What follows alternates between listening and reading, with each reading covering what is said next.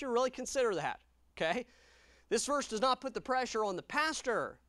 As we see a count, it's not that it's not uh, Jesus Christ reaming out the pastor for how he was your pastor. It is the fact that the pastor will give a report of his flock to Jesus Christ of how they live their spiritual lives. He will give a, a report on your life. The result will either be, as the scripture says, profitable or unprofitable for you, that account. You say, well, that makes the pastor a tatter, tattletale. Well, I guess it does.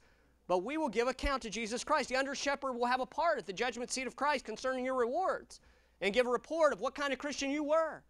Whether you were tender and responding and faithful and godly, or cantankerous and hard to leave and lead and unfaithful and unwilling and calloused and bullheaded.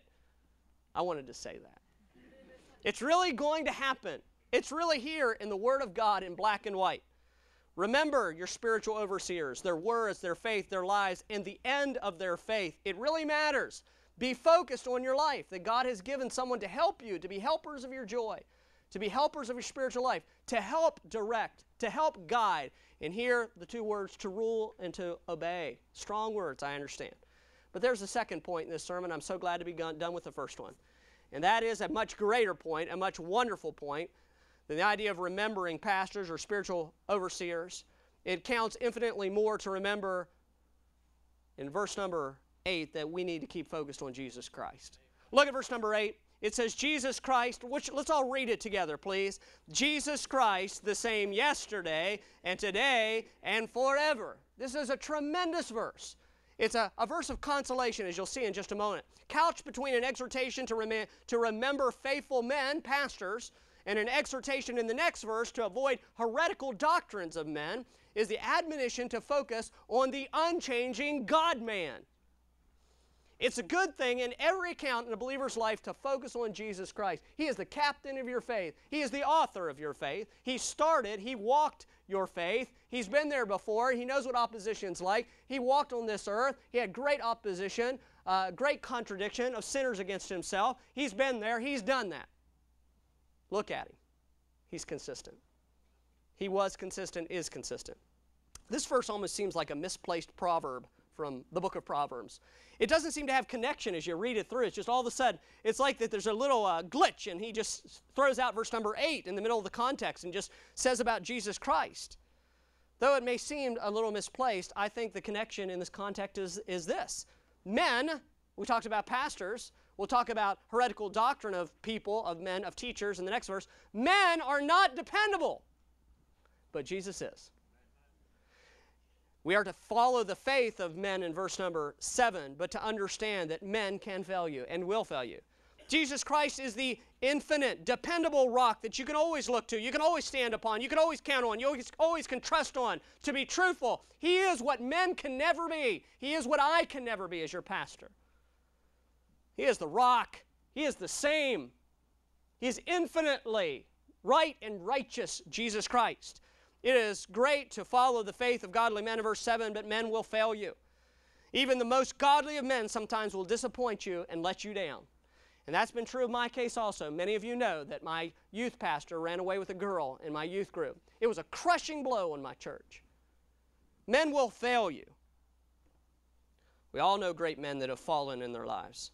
Some of them are faithful to God for many, many years, and in their 70s or 60s or 70s, they, they fall in finances or, mor- or morality or whatever. Great preachers all that time. Men disappoint you. Never set your heart on men. Set your heart on Jesus Christ. Never let the fall of a pastor change your faith in Christ. He is a man. Focus on faithful Christ. Now, that's great religious preaching, but what does that have to do with the application of my Monday morning, tomorrow. What does it have to do with my life? It has everything to do with your life. Follow with me, please. The truth here is that Jesus Christ is always the same, and it's true in many aspects. It is what we can depend on doctrinally and theologically for many of the ways that we live our life. Consider, first of all, that Jesus is obviously more than a man. Look at the verse again. Jesus Christ, the same yesterday and today and forever. This is obviously a deity statement. He is God. No man can ever say that He's the same yesterday and today and forever. This is not a statement about a guy who's in a rut who does the same things over and over and over. This is a statement about deity, of who He is. This is saying, I never change. I never did change. I never will change. I am the same. I am Jesus Christ. I'm infinitely greater than any man. It's a God statement. Consider yesterday. Hear the Word of God. In the beginning was the Word. This is Jesus, and the Word was with God, and the Word was God. The same was in the beginning with God. Jesus Christ was there infinitely yesterday in time past. Jesus was part of the Godhead before anything else ever existed. Some would like to create Jesus Christ that moment in Bethlehem. No, no, no, no. The Lord Jesus Christ was always God. Philippians 2 says, about Jesus, who being in the form of God, thought it not robbery to be equal with God. Before Jesus Christ came down to this earth, it was not a thing that he grasped hold of. It was no big deal that he was equal with God. He willingly chose to, for a moment, in physical form, to set that equality or that position, being in the form of God, aside, come out of the pearly gates, out of the ivory palaces, and come and hobnob with men. But understand, forever in the past, Jesus Christ was God.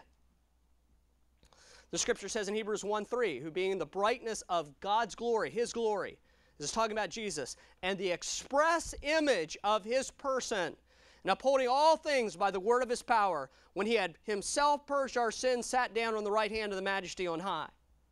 See, why is this important that Jesus Christ was the express image of God's person? I've heard that forever. Because Satan would love to attack the deity of the Lord Jesus Christ. If it was not the God that died on the cross for you, you have no redemption. Man's blood could never save man. It had to be the blood of the Lord God. It had to be Jesus Christ in his position of the Godhead that died on the cross for our sins. It's no great thing that man should die for man. Today and this week, we'll remember many men who fell on the battlefield for other people back home. Listen, it is a great thing, however, when the Lord God of all creation, Almighty God Himself, second person of the Trinity, Jesus Christ, comes to earth and dies on the cross at the hands of men. When God dies for man, that produces salvation. That's what's great.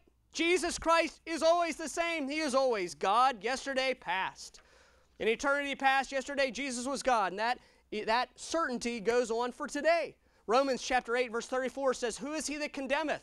It is Christ that died, yea, rather is risen again. Listen this, who is even at the right hand of God, who also maketh intercession for us. Where is Jesus now? He's on his Father's throne. Why? Because he is God. He is presently there. Today, the, the verse said in Romans 8 34, he is making intercession for all those who have trusted upon him. What does it mean to intercede. It means to have somebody who goes to bat with, for you. I don't know about you, but there are very few people in this world that you can find who will intercede for you, who will really go to bat for you, who will take of their time, who will take of their of their resources, who will take of everything they are and set them aside and, and intercede or go to bat for you. It takes such great servanthood for someone to intercede. Listen, Jesus is the dependable interceder.